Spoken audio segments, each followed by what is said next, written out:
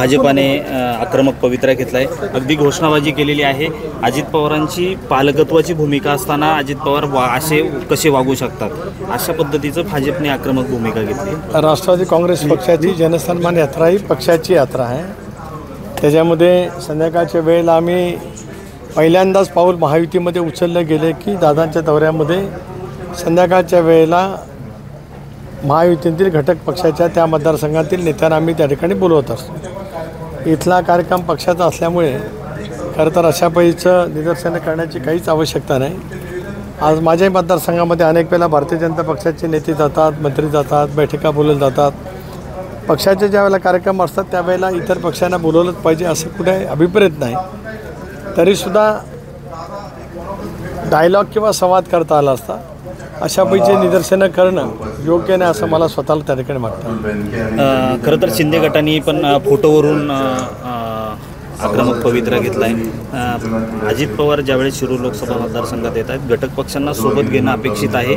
त्यांच्या तशा अपेक्षा आहेत. आपल्याकडनं का होत नाही ते? कुठलं कसला फोटो? शिंदे गटांचे कसला फोटो कशावरचा? मुख्यमंत्र्यांचे फोटो नाही आहेत कार्यक्रम कशावरती? पक्षाचा कार्यक्रम आहे. मला एक काही कळू शकत नाही ना त्या शब्दाला आक्षेप घेण्याचा कोणाला काय अधिकार आहे? उद्या शिवसेनेचे जर काही अधिकृत कार्यक्रम असतील तर तिथे माननीय मुख्यमंत्र्यांचाच फोटो असेल. तिथे अजितदादांचा फोटो असता आम्हाला अभिप्रेतच नाही. त्यामुळे अशा किरकोळ गोष्टीवरनं आमच्यामध्ये काही मतभेद निर्माण करण्याचा प्रयत्न कोणी त्या ठिकाणी करू नये. महायुतीने विशेष करून कालच मुख्यमंत्री दोन्ही उपमुख्यमंत्री आणि मी स्वतः प्रदेशाध्यक्ष म्हणून त्या ठिकाणी बैठक केलं होतो. पुढच्या पंधरा वीस दिवसामध्ये संबंध राज्यभर या तिन्ही नेत्यांचा दौरा त्या ठिकाणी सुरू होणार आहे. हे जे काही दौरे आहेत काही वेळेला देवेंद्रजी दौऱ्यावरती जातात भारतीय जनता पक्षाचे नेते दौऱ्यावरती जातात माननीय मुख्यमंत्री दौऱ्यावरती जातात. ज्या वेळेला त्या त्या पक्षाचा कार्यक्रम असेल त्यावेळेला इतर पक्षांच्या नेत्यांचा फोटो किंवा त्यांना बोलवणं अभिप्रेत त्या ठिकाणी नाहीच आहे.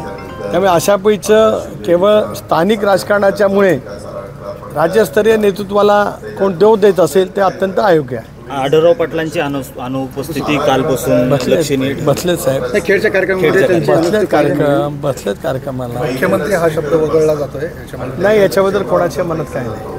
अ, खरं तर फ्री वीज माफीवरून अ, पुन्हा एकदा चर्चा होते.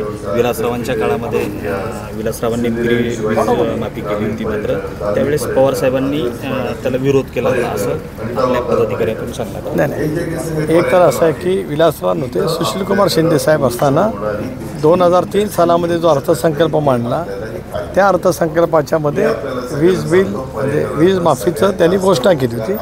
दोन हजार चार सालामध्ये सुशीलकुमार शिंदे साहेबांच्याऐवजी विलासराव देशमुख साहेब ज्याला मुख्यमंत्री झाले त्यावेळेला सरकारने ती वीज माफी देण्याची घोषणा होती ती मागे घेतली.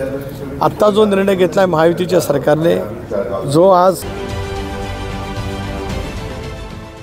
देश विदेशातील प्रत्येक घडामोडींचे लाईव्ह अपडेट मिळवण्यासाठी आता साम टीव्हीच्या सर्व सोशल मीडिया प्लॅटफॉर्मला लाईक फॉलो आणि सबस्क्राईब करा.